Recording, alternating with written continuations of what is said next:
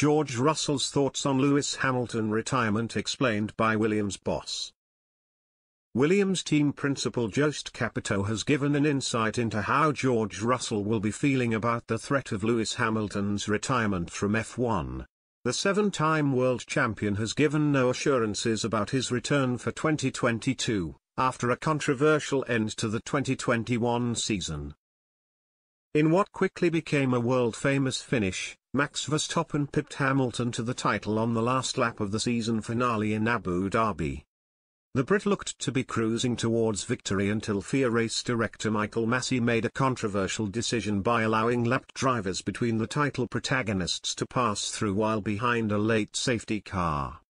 The Dutchman opportunistically pitted to fit brand new tyres, which left Hamilton a sitting duck as he lost out on his eighth world title in agonizing fashion.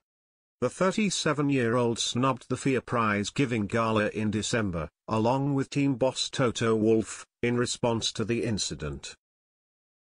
And Wolff refused to rule out Hamilton's retirement in the days following, insisting that Mercedes star driver had become disillusioned with the sport. Calling time on his F1 career could deny Russell the chance to compete alongside one of the best drivers in history, an issue which Capito, the 23-year-old's former boss, has shared his thoughts on.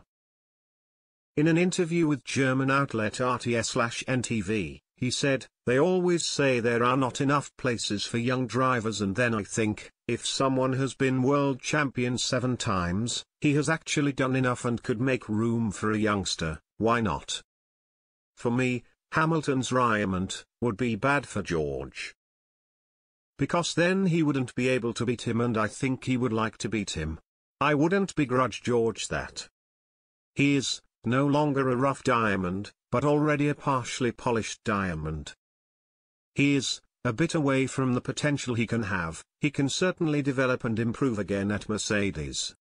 As it stands, the decision on Hamilton's future could rest on an internal inquiry, led by the FIA, regarding the contentious season finale at Yas Marina which divided opinion in the F1 world.